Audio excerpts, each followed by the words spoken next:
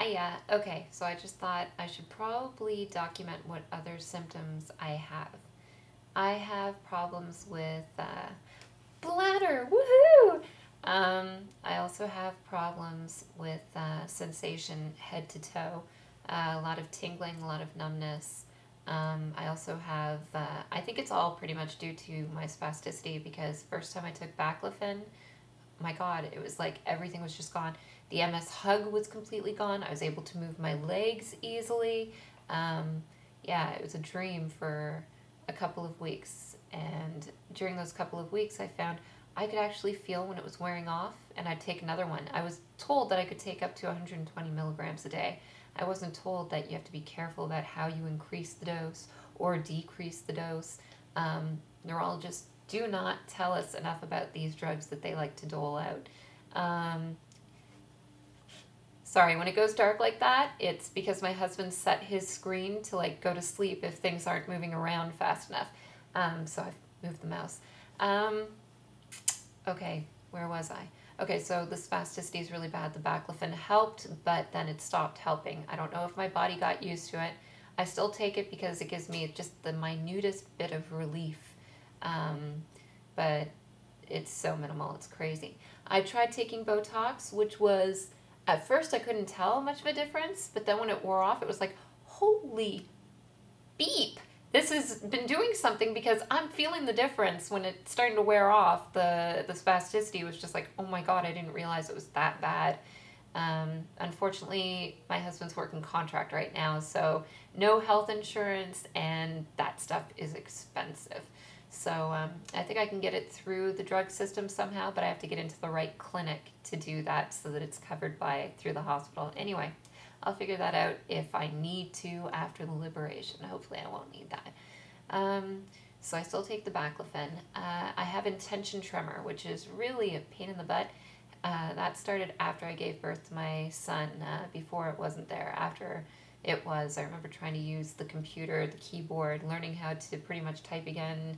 Um, great therapy for the fingers, uh, the keyboard. Um, a couple of times it's brought back the use.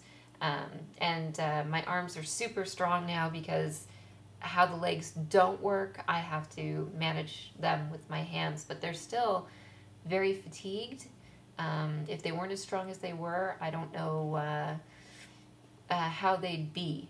Um, I have problems with my sight, but uh, it's not as bad as it used to be. I'm not legally blind anymore. I see almost completely normally, but as I get fatigued, things become more hazy.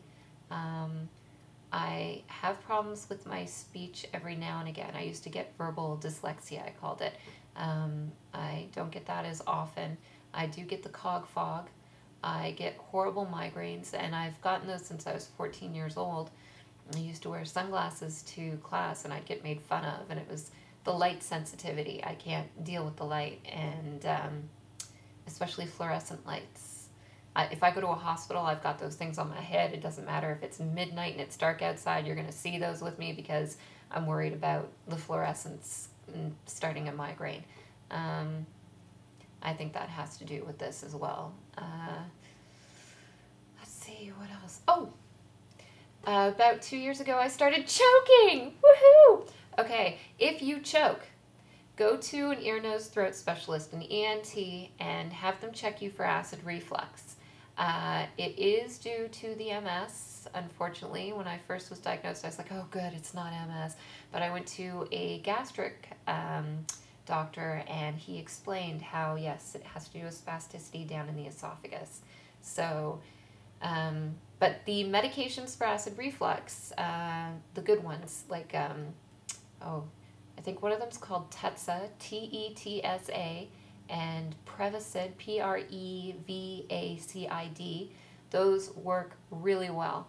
Um, yeah, so if you have the choking problem, if you find that every once in a while it's going down the wrong way, get it checked out. Uh, I didn't know I had acid reflux because I didn't have that burning feeling. I didn't know from acid reflux. That's what I thought you'd have to have if you had that, but no.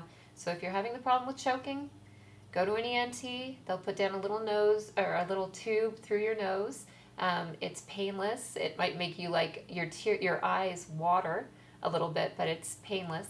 And they can see right down into your throat. And uh, if they see the acid, you've got the acid reflux. You take the medication, and no more choking. Promise. Um, what else? Tingling, lots of tingling. I associate that with the spasticity and numbness. Um, I mentioned the bladder. My problems with bladder are um, retention and also release. So um, I tried to catheter for a while, but uh, that caused more UTIs, and uh, now I get them quite regularly. And with the cathetering, that makes it worse. And I found after I cathetered, after a while, my body got used to the catheter, and it was just as bad as not cathetering. Uh, for some reason, my body was still pushing out more urine after I cathetered, and it just it was a nightmare. So um, I'm a fan of Tena. Yes, uh, not the granny panty ones. They do make ones that fit a little snugger, so you can't really tell I'm wearing them. And yes, I am proud to say I wear them because at least it gets me out, and it gets me out without a catheter um, because those don't work for me. Um, I'm sure it's kind of shocking to some people that I'm as open about those things, but I figure um, unless we're open about it and we put a face on these things, people aren't going to respect it. Just like we take chemotherapy for MS, and yes, the same chemotherapy as people who uh, have cancer and that sort of thing. Uh, there are those of us who lose our hair. There are those of us who end up getting the byproducts from the chemotherapy, which can be another type of cancer.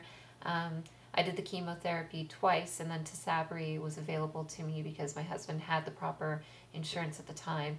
Uh, unfortunately, Tysabri and me parted ways um, because I was over the two-year mark and I started to get some rather bad infections. I got a really bad sinus infection, followed by a chest lung infection, and that was some pretty scary stuff.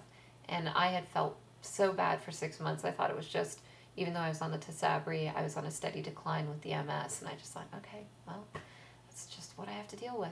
But when I came off the Tysabri, I got energy back. I felt better, and I don't mean energy back like a normal person. I mean energy that you have as an MS person. I had even worse energy than the MS person has.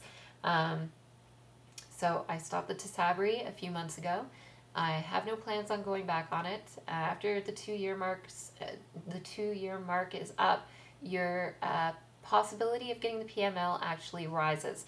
So instead of that 1 in 1,000, uh, my doctor, who is the head of Tysabri uh, studies in Canada, Dr. Paul O'Connor, told me my risk went up to eight, 1 in 800. And um, it's already not a nice risk, but that's even worse, and I wasn't getting the benefits out of it anymore. I was declining. So um, I had, at that time when we met, said that I would continue with it, but that was before the infections, and uh, the infections pretty much put the stopper on. So I think I've gone on like, oh my goodness, it's over eight minutes already. I'm sorry. I hope it's been entertaining at least. Um, yeah, so those are my symptoms right now. I can't think of anything else. I'm affected head to toe. I'm just lucky that I'm able to talk this clearly and see as well as I do right now. And um, use the upper part of my body with these pipes. Yes, very proud of my pipes. Um, yeah, so this time it's adios for the day. Uh, we'll see you post-liberation.